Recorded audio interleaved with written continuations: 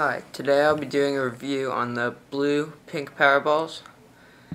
Um, first off, they're 72 millimeters tall, and they have a durometer of 81A. These wheels are a very smooth wheel, but after you get about 10 feet into a slide, they start to chatter. They are very slidey, but they take a while to break in. I would not recommend them for a beginner just because it's so hard to break in.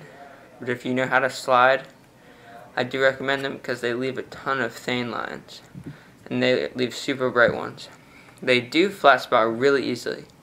Right here, this flat spot took me about an hour. Just an hour. And it's crazy. They just wear so quickly.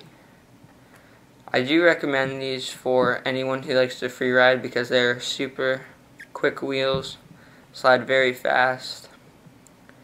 Um, they might be good for downhill. I haven't tried them yet, but they seem like they do have a pretty good roll speed, so that's good. But they are very drifty, so if you're taking a lot of turns, I would not recommend them. Um, they have an offset core, not in the center, just off to the side a little bit. And um, they have a width of 35 millimeters and a contact patch of 32 millimeters.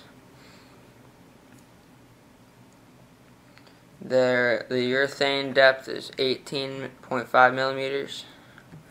It's a fair amount of urethane. Takes a while to wear to the core.